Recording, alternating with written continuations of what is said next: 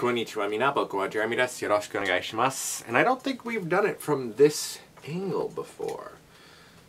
The camera and the stand are on my bed, so that's why it looks weird. This is my new Dragon Ball shirt, actually. I got it in the mail two or three days ago, I think. But, uh, yeah. So, it's my very busy comic style shirt. And, uh, yeah, so I really like it. I have another, I have a jacket coming, a Goku jacket, varsity style jacket, I think. So that'll be interesting as well. So I'll show you guys when that comes in. So, you may be wondering what I've been up to lately. I know I keep promising, uh, like every other YouTuber, empty promises of constantly doing new stuff. Um, but I've been busy, and I have been doing new stuff, just not on YouTube related stuff, because work, ugh, just gonna sit like this, has been really busy. and uh, lots of birthday parties and a lot of other stuff. So, um, on top of that, the voting for the award nomination starts on September 30th, I think. I'll try to find out more about that. And we got a fifth nomination as well, and I don't remember what part it is. I'll have to look back on that. But it just popped into my head right when I was doing this video because that's not originally what I was going to talk about today. Um, but there is something else that I was approached to do in terms of that audio play, but also I will be recording in a little bit today um, an audition for Mass Effect, uh, one of the video games. Um, I don't, I will admit I don't know very much about it. I know it's a shooting game, um, and I know it's very popular, uh, at least amongst several people that I know. Because when I've when I was talking to them about it, they're like, "Oh my god, oh my god!" So we'll see how things go. I don't know if I stand a snowball's chance in hell, um, but we'll see. And uh, they say that you don't have to do accents or things like that. Um, but I am practicing on accents, and one way that I'm practicing a British accent is I have become obsessed with a British soap called Hollyoaks. And my favorite characters on that are Steve, uh, whose real name is, well, the character's real name is Stephen, um, but they call him Steve for short, and Harry, and uh, Mercedes, and the whole McQueens are fun to watch, that, that whole family, and Marnie Nightingale, I love her. She is a bitch. I love that sarcastic bitchness of her. Wonderful. Um, and she is played by a lady who's been in, in several several shows, including the 1990s revival of Dark Shadows, among others. She played a French character on that one, so interesting. Um, but I'm also gearing up for Fan Expo, which is coming up in November, the November 11th long weekend, so 11th to the 13th. And they just announced their anime lineup, and I am so excited about it because I'm possibly going to be a part of the Sailor Moon side of things because they will have Sailor Moon voice actors coming, actresses I should say. So they have currently listed uh, eight anime guests. And Linda Ballantyne, who played Sailor Moon from Sailor Moon S and Super S's original Cloverway dub, will be there. Susan Roman, who is Sailor Jupiter, whom, and whom I have met and worked with before in 2012 when she came to Anime Revolution. And she was the only one of the uh, original Senshi from the DiC to the Cloverway dub that actually stayed the whole course, the whole time as Sailor Jupiter. So, and I love her to bits. And Cherami Leigh, who is the voice of Sailor Venus in the new Viz dub, but she's also in Sword Art Online, and that's how they list her on the website as well. So, three Sailor Moon voice actresses from three separate eras, I guess, DiC, Cloverway, and Viz, will be there. That's that's fun. That's fantastic. I mean, we had Sugar from the Cloverway dub and um, Cristina Vee for Anime Revolution from Viz uh, that that part this year, and so yeah, it's really exciting. So I'll keep you updated as I know more about that. But I've been working on something with Fan Expo, kind of. We'll see. We'll see how things go. Um, all right, Trina Nishimura, who is from Attack on Titan, and I'm pretty sure she's been there for Fan Expo before. I think so. Um, Jamie Marchi, who also has been to Fan Expo before, I know that. She's listed uh, in Fairy Tail. I think she is um, the heck is that character Erza? As I've never really watched Fairy Tail very much. I've seen part of it and I saw the first 20 minutes of the world premiere of the Fairy Tail movie when Funimation brought it in 2013. but that was about it. Um, Eric Vale, who is Trunks from Dragon Ball Z, will be there.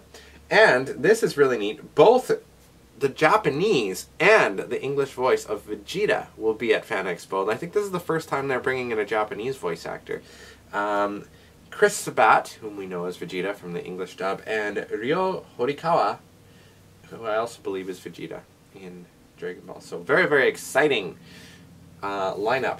Uh, now, of course, they join the already announced guests of John Barrowman, whom I've met before. Actually, maybe you can see the picture here. I know it's probably out of frame, but I met him there.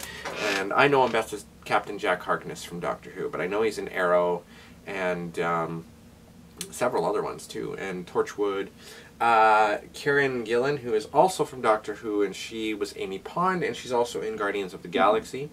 Um, Gillian Anderson, who personally, of, of all the celebrities that are coming, I'm the most excited to meet because I haven't met her yet, and I'll probably be getting a picture with her uh, in my new cosplay that's going to be worked on, but we'll talk about that in a bit. Uh, Kevin Smith was the first guest announced, and he, of course, is Silent Bob from the Jay and Silent Bob movies. Uh, I think he also uh, produced brought back the Degrassi series, the newer ones. Degrassi: The Next Generation, I think. I could be totally wrong. Um, Christopher Lloyd, whom of course is from Back to the Future and like everything out there. Like he's a very well versed actor. Tom Felton from the Harry Potter series. Now there was a, a running joke for the longest time. The first two years of Fan Expo, Tom Felton was supposed to be there, and he canceled both of them. And everybody's like, "Oh, he's not going to make it to the third one," but he did. And uh, really nice guy. I did get to meet him, and I got an autograph for my friend Megan. Um, Jewel Staite, who is from Firefly, Serenity, and Stargate Atlantis. I forget the character that she plays on Firefly and Serenity, but yeah, she'll be there, and I know that a lot of my friends are excited about that. They just announced Dean Cain the other day, so from Lois and Clark's The New Adventures of Superman. He was Superman, of course, in that one. And it looks like today, or perhaps yesterday, but I'm just seeing this for the first time now as I'm telling you guys this, Jason Priestley from Beverly Hills 90210 is going to be going as well to fan, our Fan Expo Vancouver this year. So, and they keep announcing different people all the time. Now, they haven't announced any animation specific guests aside from the voice actors of the anime ones, um, or the comic special guests, or any cosplayers. Um, Jamie Marchi is also listed from Borderlands 2 uh, video game. And organizations, the Ghostbusters of BC, of course, will be there like they usually are. The fictionals are going to be there as well.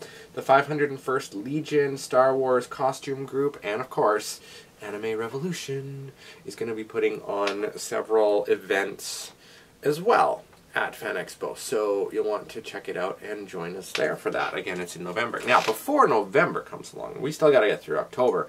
And I have a wedding that I'm going to in Calgary, which is fantastic. I just found out that my mom and my stepdad and my little brother might actually be coming up um, through Vancouver and then uh, coming through town here on a rental car. So uh, nothing is in cement yet.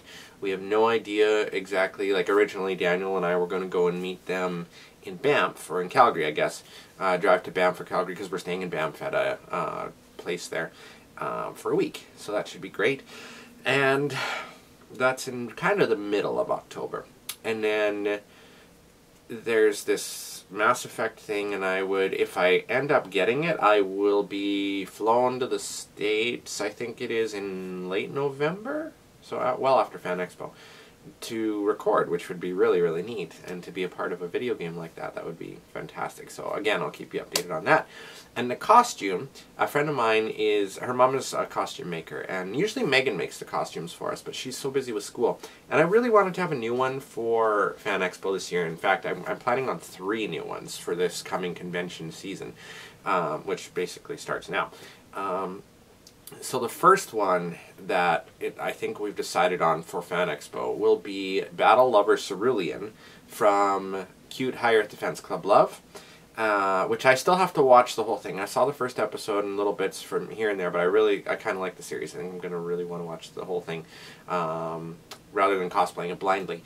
Uh, Galford from Samurai Shodown, I really want to do him as well. And also, I'm still holding out for my gender bent Sailor Galaxia, uh, kind of Spartan style from Sailor Moon. So, of course, got to hit the gym a little bit more. Not so much the chest and the arms. I mean, I do have to do that, but more of the abs because they're kind of non-existent right now. And um, yeah, I'm terrible with that, and I'm terrible with snacking, and I'm terrible because there's a bag of unopened chips over there. Actually, several bags of them, which will be done probably on another guys' night that Cody and I have for you guys. For does this thing taste like shit? Because there's interesting flavors and several that I'm a little bit scared to try. but we'll see. You do it for YouTube. Why not, right? okay. That, I believe, is it for now. I will see you guys later. Uh, like I said, I've just been so busy and stressed. Oh, the stress and the tired and the mostly just working and and stuff and just it's it's finally I think it's gonna be okay pretty soon. Like things are gonna calm down a little bit, but just wow, this month has just flown by because it's been insanely busy. And uh, oh, and I'm working on a soap opera. Aha. Uh, well, a pitch for a soap opera. I'll tell you guys more as it comes along, and if it ever comes to fruition, that would be wonderful. But it's kind of like a supernatural themed soap opera, akin to like Days of Our Lives and Passions, but maybe like Dark Shadows and I don't know. We'll see. We'll see. I'll tell you more as it comes along and we'll go from there. Alright. Jamatane Mina. Thank you for watching as always and I will see you again soon. Bye bye.